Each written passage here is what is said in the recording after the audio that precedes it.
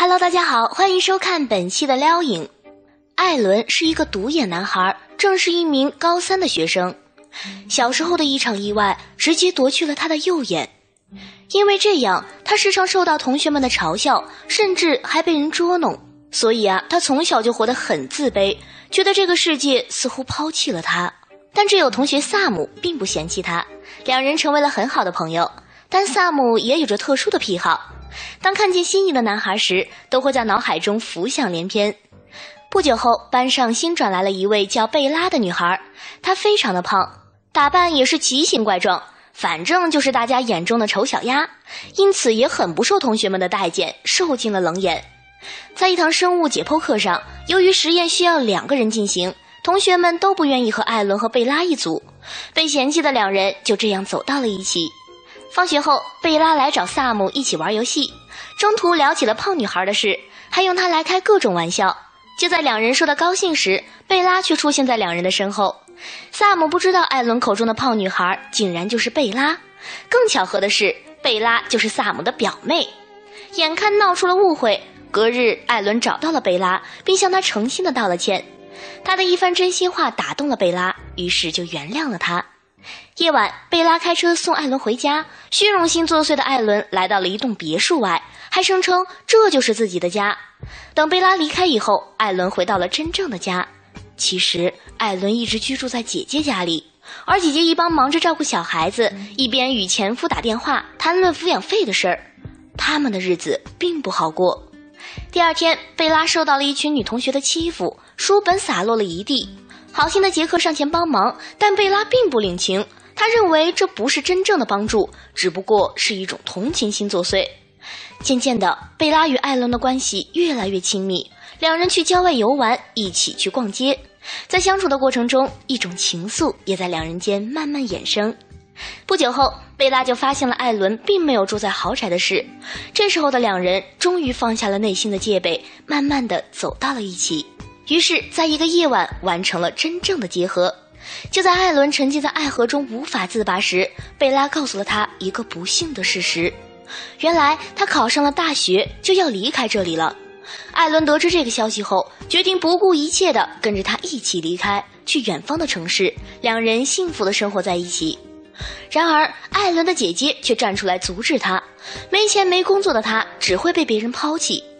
思索再三后，艾伦和贝拉只好暂时分开一段时间，并约定再次见面时一定要给对方一个惊喜。就这样，两人开始了一段长达半年的异地恋。贝拉走后，艾伦找到了一份洗碗的工作，很快就用挣来的钱买了一只假眼。半年时间很快就到了，艾伦坐上了飞机，准备去见贝拉。见到贝拉后，却发现她变得让自己不再认识了，头发染了回来，也没有了唇环，甚至也没有以前那么胖了。看到贝拉变得越来越漂亮，不再是别人眼中的丑小鸭，而别的男孩看见她后也会多看几眼。